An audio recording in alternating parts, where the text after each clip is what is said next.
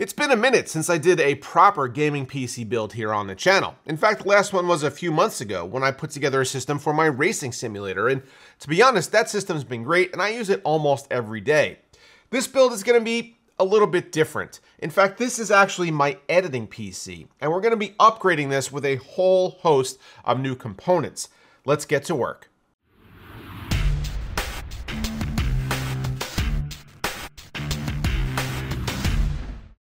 Looking to grab a Windows 10 license at a crazy discount that you could upgrade to Windows 11? Head over to VIP SCD Key at the links below and use promo code BPS25 at checkout to score a sweet deal on Windows 10, Windows 11, and Microsoft Office. Once you've completed your purchase, just head over to your user center, hit the green button to view your code, copy and paste it into your Windows activation settings, and away you go. Check out VIP SCD Key at the links in the video description. If you guys are new here, thank you so much for stopping by and checking us out. This is the BPS Customs YouTube channel. We do things like this, where we build gaming PCs, we do how-tos, product reviews. So if you like that kind of stuff, make sure that you get subscribed down below and also consider hitting that like button and or the notification icon. That kind of stuff really goes a long way in helping the channel out. So thank you in advance. So why take a perfectly good, perfectly functioning, very powerful system like this one right here, with an i9 12900K and an RTX 3090 and butcher it to make something new? Well, the RTX 4090 and 13900K both should provide some noticeable gains in performance in Adobe Premiere Pro, which is the thing that I do most with this system. Not to mention, it also should provide faster handbrake transcoding and, yeah, better performance in games, which I do get to do every once in a while. So we're gonna be doing some A-B testing here. I've already laid down some baseline scores with this system in Adobe Premiere exporting, Handbrake transcoding, Modern Warfare 2, Cyberpunk 2077, and F1 22. And then we're gonna compare, once we do the rebuild, see which one is better and see if it was actually worth it for me to make this upgrade. Let's go over the components that we're gonna be using here, and let's start with the one that we're gonna be swapping over from this system, and that's the motherboard. The motherboard in here is ASUS's Z690 formula, and with a BIOS update, directly supports the 13900K, and that's already been done, so I don't have to worry about that. The Z690 formula board provides two things that I can't get on any other board within reason. So the first thing is that it's completely white. Now that might not seem like the most important thing. However, when we're going for an aesthetically pleasing build and an all white case, that is definitely something that I want to consider. The second thing is that the I.O. on this board is just crazy good. It's got 12 total USB ports and I use every single one of them in my office. So I have all kinds of peripherals connected here that I use all the time. So I wanted to be able to maintain that. So all it's all white.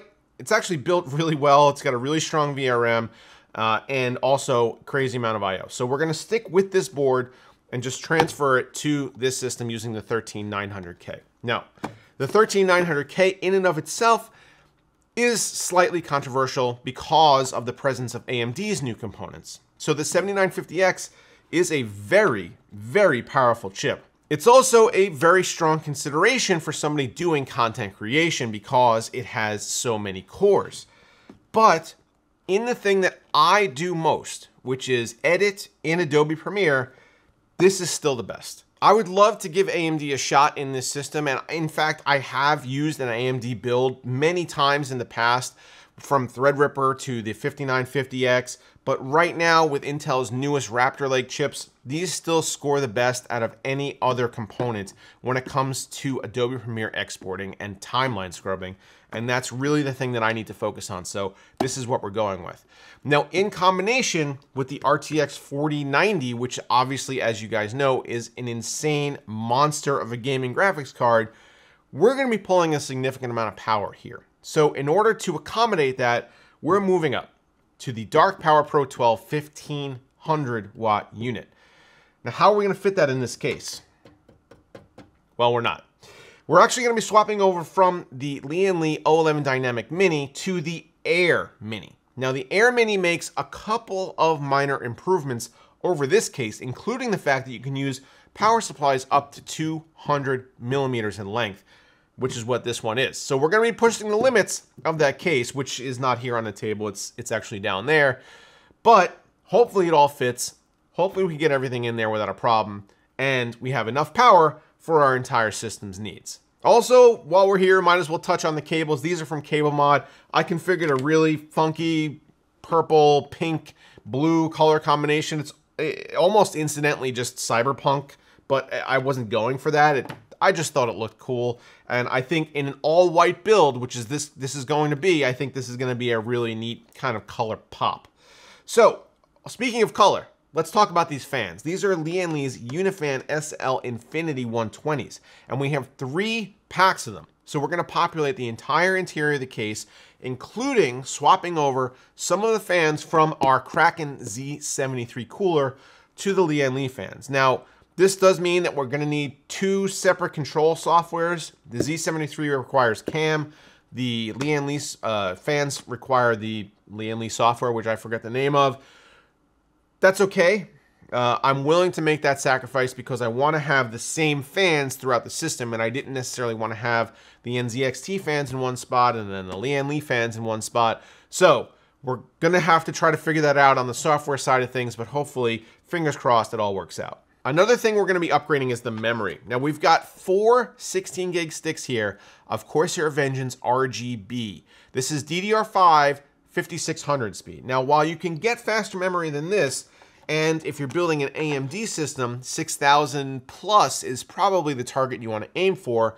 With an Intel build, 5600 is going to be plenty fast, and it's going to be an upgrade over what we have in this build right here, which is DDR5 5200 from G.Skill. Now, it's got, not going to make a huge difference, but if you can increase the performance, it seems like a good idea to do so, especially when you're upgrading everything else about your build.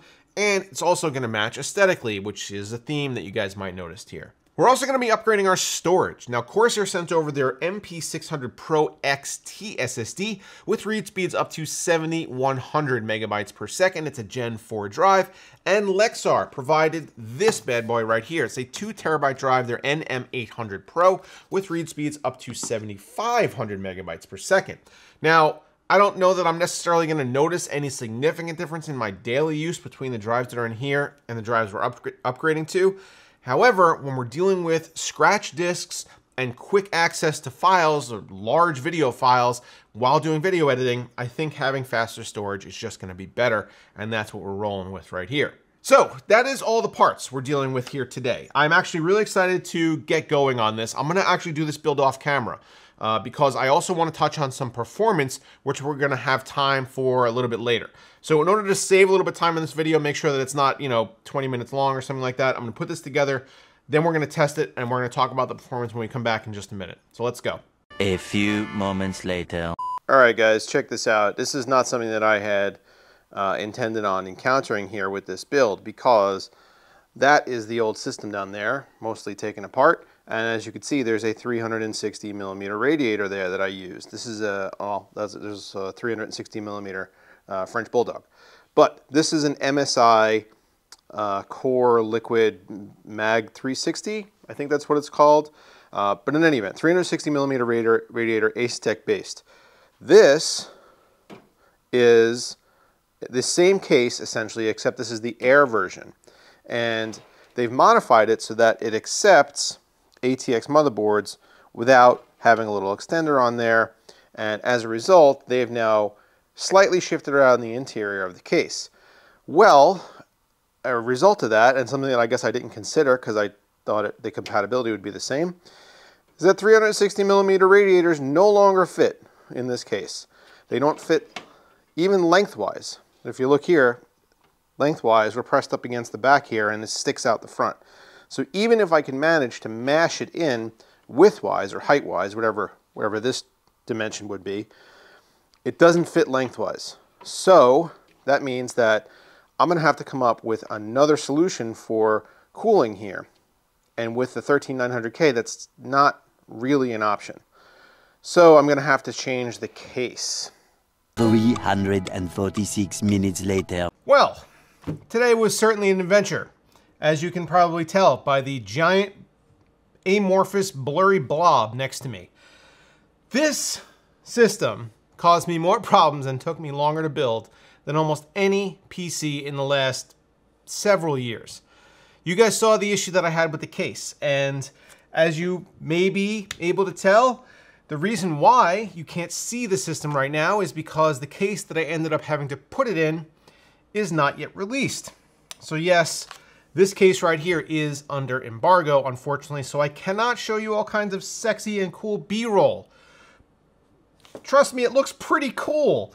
Uh, but uh, I can't really talk very much about it, unfortunately. What I can talk to you about, though, is the performance of the system now that we've made the upgrades and the changes. Now, that's not only going to be performance upgrades because we're improving the CPU and the GPU, but also thermal upgrades. Without giving away too much, the case that I've put this in is much more open than the previous iteration of this system. I think I would have had a similar-ish experience had I been able to cram these components into the O11 Air Mini, but this case is gonna do basically the same thing, and it also is a little bit bigger. So it's gonna provide a little bit better airflow and not compress all the heat into one small space. So I think that's contributing to the fact that we're getting way better thermal. So here actually is what I'm talking about. Under load while gaming, we saw a significant improvement in both GPU and CPU temperatures, along with a similar level of noise. So I don't have to worry about an increasingly noisy system to get those lower temperatures. It's just a natural byproduct of having better airflow in the system. Also, I did achieve my goal of getting better performance in these productivity applications that I use all the time. So that's Adobe Premiere and Handbrake. Here is the productivity results from the testing that I did on this system versus the original system. You can see we had a significant improvement over a minute faster in our Adobe Premiere Pro export and over two minutes faster in the Handbrake transcoding test. Now, one minute or two minutes here and there might not sound like a huge deal to a lot of people, but we're talking 20 to 33% improvements in these tasks. And when you're talking large video files and doing these things in batches over and over and over again, that's actually going to provide you with a significant improvement in quality of life. And you don't have to sit there and watch the system render for, you know, large amounts of time. This is going to make my life way, way better when working on these projects. And what about gaming? Well, Obviously, the 4090 is going to put in some serious work when it comes to Modern Warfare 2, Cyberpunk, and F1 22. So here are the results of those tests and the improvements you could see is almost inconceivable when you're just talking hardware that's about a year apart. I'm talking double the performance from generation over generation. That's pretty nuts. And it's definitely something that is going to be noticeable when I actually find some time to game. Now, one thing that I didn't really go into beyond the case itself was the additional difficulty that I had building this system. The first iteration that I built here included the Lian Li O11 Air Mini and that Z690 formula board. Well, obviously, as you guys saw, that didn't end up working out because of the size of the cooler. So that whole entire system was transferred over to this case where it did fit, but I was having some incredibly frustrating stability issues with the system as it was built. I don't know if it was a BIOS issue because I had updated the BIOS to support the 13th gen processor in the Z690 board, but I couldn't have the system running for more than five minutes before it crashed. Uh, if I were to initialize the control software for the Lian Li fans, the entire system would freeze up. If I tried to change anything in BIOS, the system would hard reset. I don't know what the issues were, but I'm pretty sure they were related to the motherboard because what I did was I changed the motherboard out for a Z790 Strix board, and that seems to really have solved all of the problems. So in the end, I guess I didn't really need to take anything out of the old system. I could have just kept that one the way it was and built this one separately because every single thing in here is new.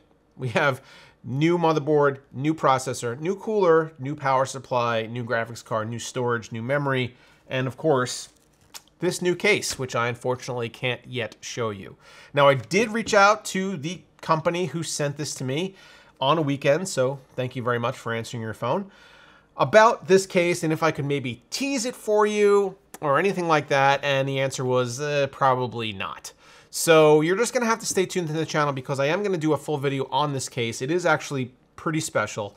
Uh, and that's gonna be coming, let's just say soon. I can't really give you a date on it either, but it's this year. How about that? Uh, so stay tuned to the channel if you guys want to check out what this case actually is and what the finished product looks like because it's pretty awesome.